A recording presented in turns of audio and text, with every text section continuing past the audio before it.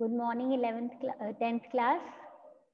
So, uh, class, we were on uh, chapter number one of history, which is the rise of nationalism in Europe. Now, इसमें we have already studied कि कैसे idea of nation state या being uh, all of them belonging to one particular nation ये कैसे अब हम देखेंगे कि rise होगा. and we started the chapter with uh, description of one painting about which we studied ki kaise every country every european country is wanting to have change in the kind of government in which they are living under whom they are living okay उसके बाद हमने कर लिया था basically ये जो idea of nation है ये फ्रेंच रेवोल्यूशन के बाद स्टार्ट हुआ था और कैसे फ्रेंच रेवोल्यूशन के टाइम पे एंड आफ्टर दैट क्या क्या स्टेप्स लिए गए थे जिसके कारण feeling of being one and belonging to one nation जो है it came in the hearts of the people. उसके बाद हमने देखा about Napoleon how he introduced certain administrative changes but later on somewhere एक तो democracy का we can say he totally removed democracy and उसके बाद हम ये भी देखेंगे कि he started now controlling other parts of Europe. Okay, these countries actually initially invited him, called him, and thought that he will bring a very pleasant change in their countries, in their regions. But problem क्या हुई थोड़ा बहुत administrative changes तो आए, but उसके according उनकी political freedom चली गई, and many more restrictions were imposed on them, whether it was about the taxation or putting them into serving them into the French uh, armies and all these things. And then we came before moving on to what happened with Napoleon as and when he was becoming very powerful. Obviously, the other European countries will not stay calm. वो भी कुछ करेंगे उसको रोकने के लिए. But वो समझने से पहले we need to understand कि situation क्या थी वहाँ पे. Basically situation ये थी as earlier earlier भी हमने देखा है कि society जो है वो divided थी. Idea of nationalism जो है वो initially नहीं था. और वो धीरे धीरे कैसे डेवलप हुआ, होगा वो हम देखेंगे। बेसिकली जो सोसाइटी थी वो डिवाइडेड थी between the aristocracy and the poor people और फिर आया with the industrialization in England and the development of trade etcetera एक थर्ड सेक्शन यानी कि मिडिल क्लास जो है इट बिकेम इम्पोर्टेंट और इस मिडिल क्लास ने बात की थी लिबरलिज्म की। We want freedom in every which way so that we also live a very nice life and uh, uske baad uh, then uh, when we completed about the liberalism we also did understand कि जो जोल्वरिन है वो introduce हुआ था प्रशिया में और जोल्वरिन एक custom union था और जोल्वरिन इंट्रोड्यूस होने के बाद बहुत सारी जो प्रॉब्लम्स है स्पेसिफिक इकोनॉमिक प्रॉब्लम्स जो हैं वो सॉल्व हो गई थी। और इकोनॉमिक प्रॉब्लम सॉल्व होने के बाद क्या हुआ? कि ऑब्वियसली समवेयर डायरेक्टली या इनडायरेक्टली ये जो है it is helping them to even develop the idea of nationalism और national sentiments among the people यानी समवेयर वो यूनाइट हो रहे थे। ये तो इकोनॉमिक के टर्म्स में था पॉलिटिकल टर्म्स में they wanted right to vote उसमें भी वेरिएशन थी कि सबको नहीं मिल रहा था। And then along with that we also need to understand कि सोशल वे में भी ये बोल रहे थे, हमें राइट टू प्रॉपर्टी चाहिए, जो क्लर्जी या जो अपर कास्ट के पास जो बर्थ प्रिविलेजेस हैं, उनको या तो रिमूव करें या certain changes should be broad तो बेसिकली लिबरलिज्म की बात हो रही थी लिबरल नेशनलिज्म की बात हो रही थी इकोनॉमिक डेवलपमेंट हो रही थी, जो हमने देखा Zollverein which is actually very important from the point of your of your exams as well ठीक है? बाकी politically rights and all these things socially also liberalism की बात हो रही थी but during the same period ऐसा नहीं है कि जो ओल्ड थिंकिंग वाले थे, यानी जो मोनार्की और पुराने सिस्टम पे जो बिलीव करते थे, वो लोग कुछ नहीं कर रहे थे।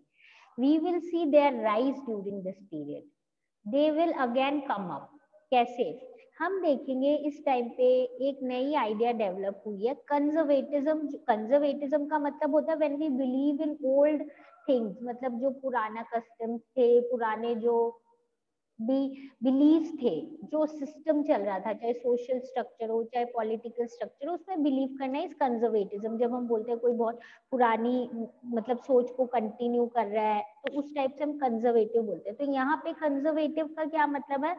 जिनको पुराना वाला पॉलिटिकल बेसिकली ये पॉलिटिकल और सोसाइटी को चाहते थे, वापस पुराना वाला सिस्टम आ जाए। एज आई सेड कि कंजर्वेटिव का मतलब वो होता है, उससे you can always remember this word अब हुआ क्या? वी नो कि नेपोलियन आया था नेपोलियन को सबने इनवाइट किया all the major you can say lot of countries invited it that we also want certain kind of change in our country as well and it was expanding and becoming more powerful day by day अब जो ये conservatives थे, ये लोग सोच रहे थे कि हम लोग वापस से जो ट्रेडिशनल इंस्टीट्यूशंस है सोसाइटी है स्ट्रक्चर है स्टेट का political system monarchy church social division जो है सोशल हेरारकी प्रॉपर्टी के रूल्स फैमिली की वैल्यूज़ ये सब हम चाहते हैं प्रिजर्व किए जाए।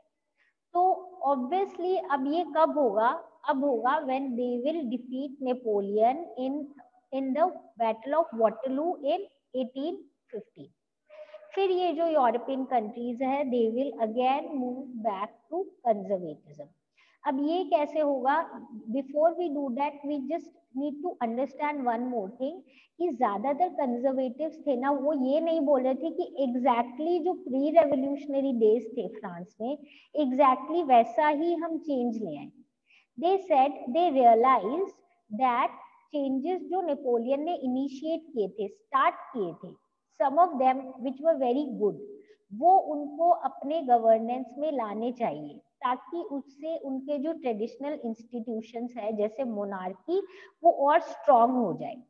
इसमें कैसी चेंजेस की बातें कर रहे थे वो? मॉडर्नाइजेशन आर्मी को स्ट्रॉन्ग बनाना स्टेट को मोर इफ़ेक्टिव बनाना जो आर्मी है, उसमें मतलब नई नई डेवलपमेंट के साथ साथ उसको एक बहुत strong army banana. So that it is always ready for defence and obviously for attack कोई अटैक करे तो they are ready to face the enemy एक इकोनॉमी भी हमको डायनेमिक बनानी है, जिससे क्या होगा ऑब्वियसली इकोनॉमी डेवलप होगी तो वो एम्पायर भी डेवलप होगा और लोग क्या खुश रहेंगे। So people will not think of protesting again बाकी फ्यूडलिज्म और सर्फडम को ऑब्वियसली अबॉलिश करना पड़ेगा। क्यों? क्योंकि people are so frustrated and so fed up of these things that then if these things are again established तो लोग फिर क्या करेंगे? इसके लिए रिवोल्ट करेंगे। सो so, उनको पता था कि अगर हम मोनार्की एस्टेब्लिश करें और मोनार्की एस्टेब्लिश करने के बाद हम हम जो सिस्टम है वो अगर एग्जैक्ट सेम रखेंगे तो प्रॉब्लम होगी। इसीलिए they were ready to bring few changes पर जो बेसिक स्ट्रक्चर है, यानी जो मोनार्की है, वो रहे। उसके अलावा हमारी मॉडर्न आर्मी आ जाए ब्यूरोक्रेसी अच्छी आ जाए डायनेमिक इकोनॉमी आ जाए फ्यूडलिज्म हट जाए सर्फडम हट जाए। ओके और सारी जो ऐसी चीज़ें हैं, जो स्ट्रेंथन कर दे, चाहे उनकी मोनार्की कोई, चाहे इंट्रोड्यूस नेपोलियन ने की थी, चाहे विद विथ विथ चेंज आया था with time but whatever it was, they should also introduce these changes, not only for development, but also ताकि आगे जाके ऐसा ही वापस कुछ प्रोटेस्ट ना हो। Okay okay.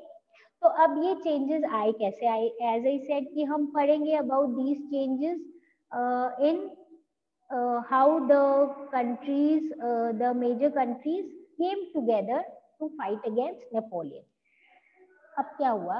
1815 में यूरोपियन पावर जो Britain Russia Prussia and Austria not Australia Austria जो है, इन लोगों ने कलेक्टिवली क्या किया? नेपोलियन को डिफीट किया at the at the battle of Waterloo ठीक है?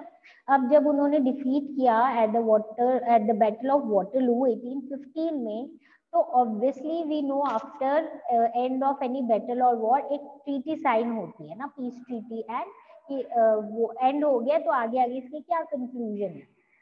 तो ऑब्वियसली ये लोग सारे मिले इन वेना एंड इन्होंने बोला एक we will do a settlement एक congress meeting was hosted by Austrian chancellor Austria के चांसलर थे his name was duke Metternich uh, of you please uh, keep in mind this name because he was somebody who is very important and his name will come many a times. ठीक है his name is duke metternich austrian chancellor थे ये।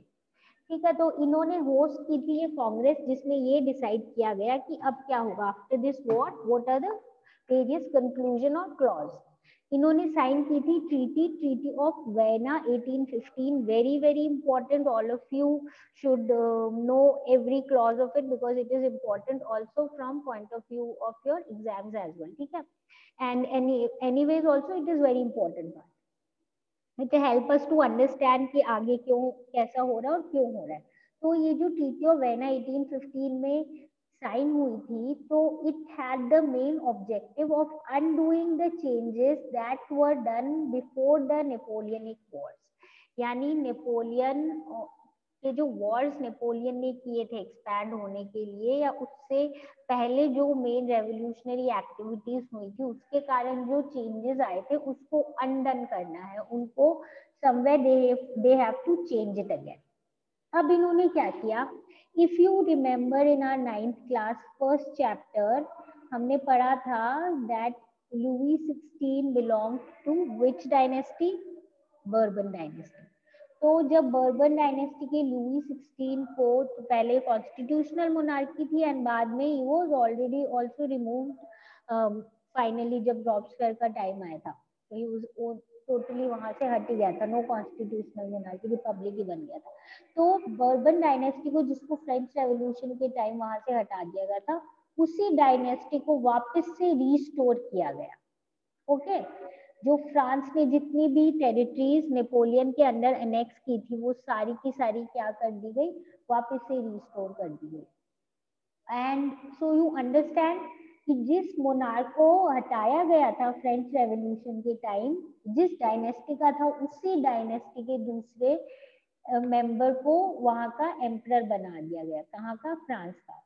उसके बाद इन्होंने क्या किया? A series of states were set up around the boundaries of France अब क्या किया? जो फ्रांस है ना, इसके चारों तरफ़ ही क्या की? बहुत सारी और बाउंड्रीज जो हैं, वो बना दी। क्यों बनाई इन्होंने? ताकि फ्रांस अगर वापस से एक्सपैंड होने की कोशिश करे तो वो जो स्टेट्स हैं, वो उसको वहीं पे रोक। ले because these state somehow were under the powers of these great four countries Britain Russia Prussia and Austria okay just remember these four names Britain Russia Prussia and Austria तो because they were the one who came together and defeated Napoleon तो basically यही सारे power यही सारी decisions ले रहे थे So they said that a series of states will be set up uh, on the boundaries of France ताकि France आगे expand नहीं हो सके Kingdom of Netherlands which was earlier included in Belgium उसको set up कर दिया था in the north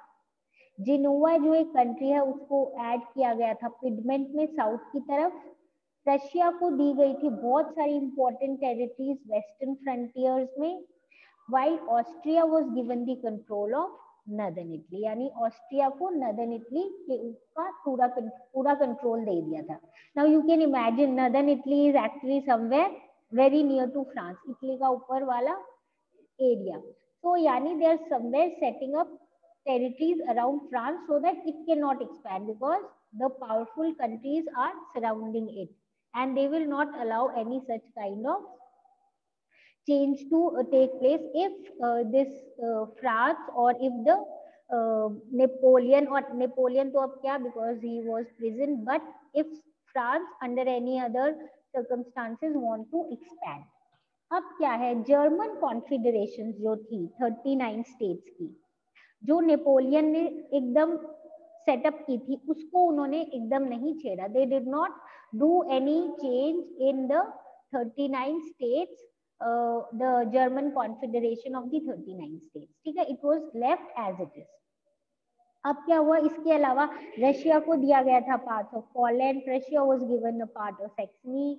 जबकि मेन इंटेंशन जो इन मोनार्कीज का था, वो यही था कि नेपोलियन को वहाँ से हटा दे और नेपोलियन से को वहाँ से हटाने के बाद हम क्या करें? वहाँ पे रिस्टोर कर दे। क्या कर दे? रिस्टोर कंजर्वेटिव ऑर्डर यानी जो पहले वाला सिस्टम था as it is obviously with lot of changes जो हमने डिस्कस किए उसको हम क्या करेंगे? इंट्रोड्यूस करेंगे पूरे यूरोप में। अब जो ये इन्होंने ये क्लॉज किए थे अलग अलग इसके अलावा इन्होंने जब इनकी एक बार रिजीम सेटअप हो गई ना 1815 में तो they were really autocratic autocratic क्या होता है? कि जो जो ये लोग चाहेंगे वही होगा, एकदम स्ट्रॉन्ग रूल ये लोग एकदम टॉलरेट नहीं करते थे कि हमारे खिलाफ कोई क्रिटिसिज्म करे या कोई हमसे अलग होने की कोशिश करे।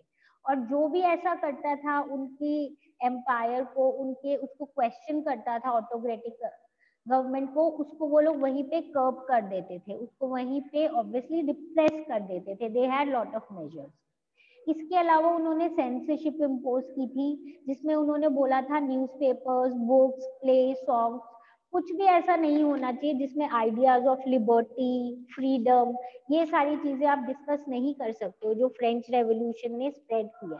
क्योंकि वाई कीप इन माइंड उनको वापस अपनी मोनार्की सस्टेन करनी है वो नहीं चाहते वापस से कोई ऐसा रेवोल्यूशन हो जो डेमोक्रेसी फ्रीडम लिबर्टी इक्वालिटी इन सब की बातें कर रहा है।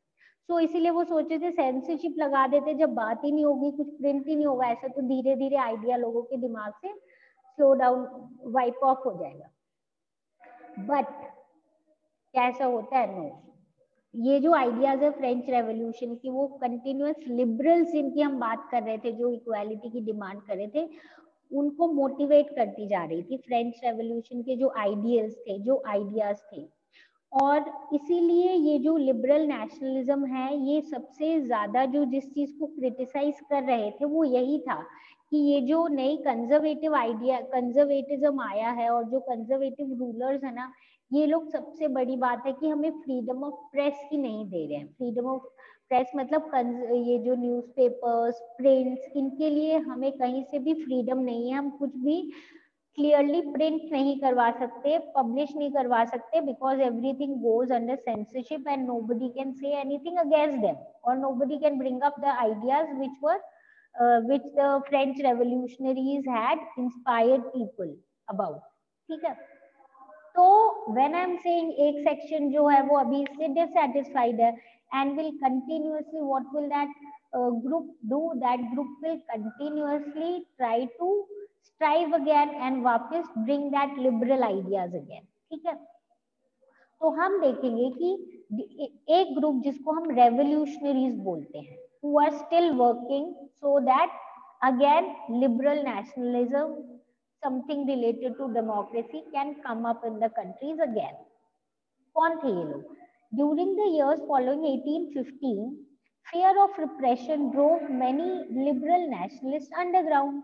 यानी क्या हुआ कि जब ये उनको एक डर था, क्या डर था कि उनको कंटिन्यूस रिप्रेस कर रहे हैं लिबरल नेशनलिस्ट को, उनको बोलने नहीं दे रहे आइडिया ऑफ़ प्रेस नहीं है और कोई कुछ बोल नहीं सकता आइडियाज़ ऑफ़ फ्रीडम लिबर्टी को आप एक्सप्रेस नहीं कर सकते हो।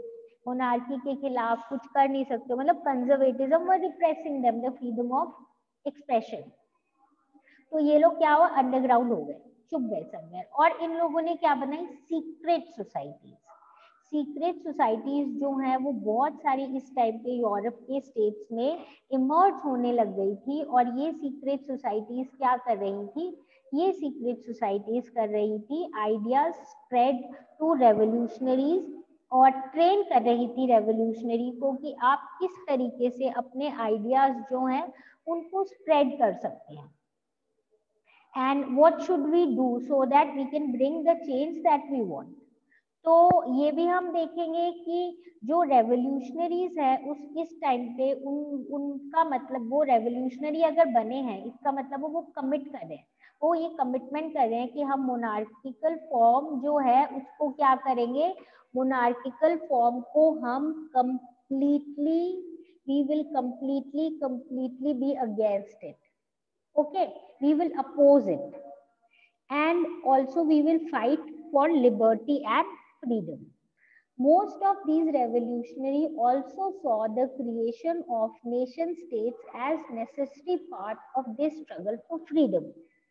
Yani बहुत सारे रेवोल्यूशनरीज जो हैं, उन्होंने ये भी सोचा था कि ये जो हम फ्रीडम की बात कर रहे हैं, जो हम लिबरल नेशनलिज्म की बात कर रहे हैं चेंज की बात कर रहे हैं, अलग टाइप की गवर्नमेंट उसमें सबसे इम्पोर्टेंट बात ये भी है कि हमें एक नेशन स्टेट का आइडिया डेवलप करना है ओके नेशन स्टेट का हमें आइडिया डेवलप करना है नेशनलिज्म वाली फीलिंग लानी है, पूरा एक नेशन वाला आइडिया सब में डेवलप करना है। इस, ये जो इतने सारे रेवोल्यूशनरी थे, इनमें one of the most important जो इटालियन रेवोल्यूशनरी थे, जिसको हम बोलते हैं Giuseppe Mazzini okay just remember the name Giuseppe Mazzini ये जो है he was born in 1807 then he became the member of a secret society which was called Carbonari ठीक है?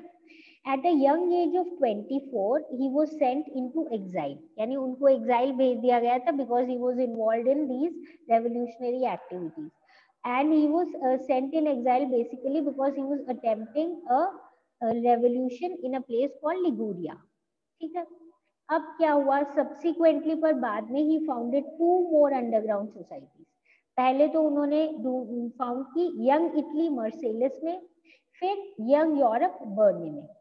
और इसके मेंबर्स कौन थे? इसके मेंबर्स थे सारे लाइक माइंडेड यंग पीपल सारे वो लोग जिनकी सोच एक जैसी थी।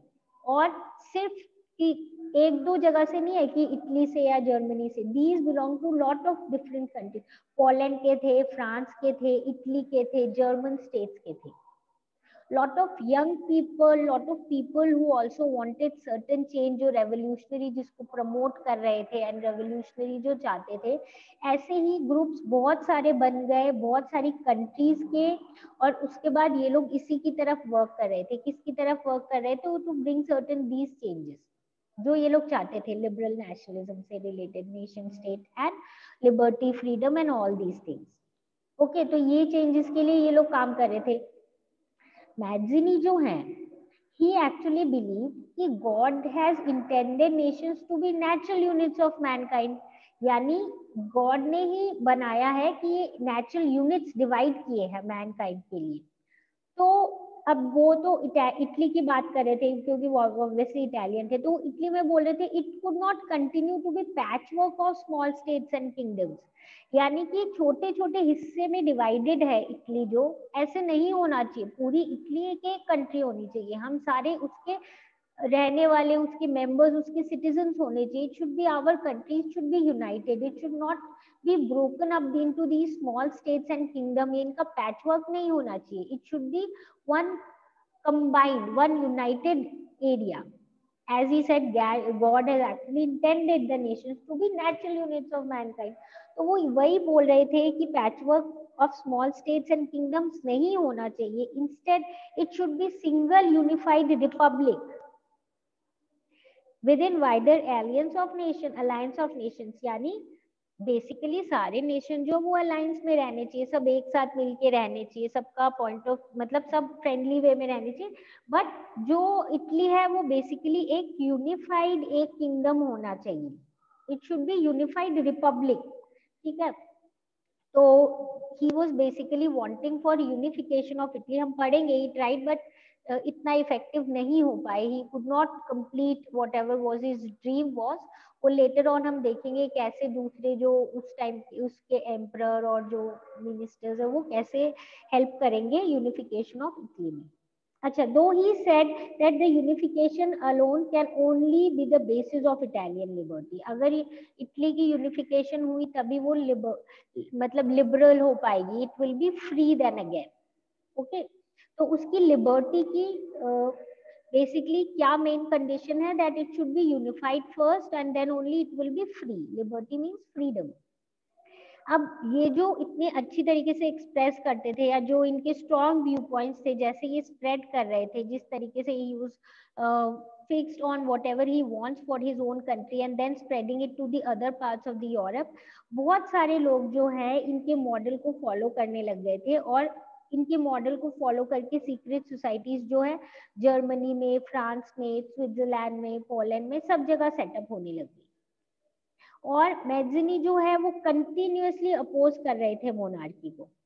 Continuously and he was just focusing on democratic republic और इतने इंपॉर्टेंट हो गए थे वो। He was so powerful and so influential and so you can say he became so famous and people started following uh, him and as model secret societies and working for democracy republic ki jo conservatives the na wo dar gaye the they were scared of him Metternich I told you to remember this name कि Duke Metternich आएगा बार बार Duke Metternich जो है जो Austria के chancellor थे treaty of Vienna के time पूरी वो मीटिंग बुलाई थी एंड ऑल ये जो ड्यूक मेटर्निक है he said that Mazzini is the most dangerous enemy of our social order. Very important line. He said that Mazzini is the most dangerous enemy of our social order इससे इनका क्या मतलब था कि हमारी society जिस हिसाब से चल रही है, जो हमारा मतलब basically was talking about the conservative way of life